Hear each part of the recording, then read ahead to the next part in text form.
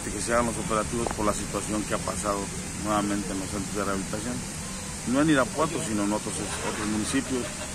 Entonces tenemos miedo que nuevamente salga de control aquí la situación. Como lo hemos venido diciendo, hay grupos que están utilizando para reclutar a las personas. Tenemos una carta que le vamos a mostrar a la alcaldesa para, para, pues para que nos haga caso bueno, de, lo que le estamos pidiendo. Tuvimos una reunión con el, con el director de seguridad pública, pero pero no hubo una respuesta, nomás dijo que íbamos a tener mesas de trabajo. ¿El día de hoy aquí? Pues los operativos y esta carta.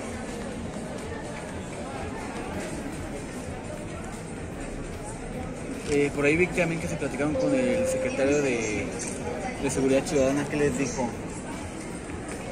Eh, solo nos piden, solo, los, solo nos piden el directorio, el directorio para hacer los monitoreos, pero no, no, nomás nos piden eso, pero no, le dan seguimiento. Digamos nosotros porque dice que bueno, de manera continua se van cambiando o que van generando nuevos centros, pero nosotros estamos en toda la disposición de seguir trabajando con ellos, seguir colaborando.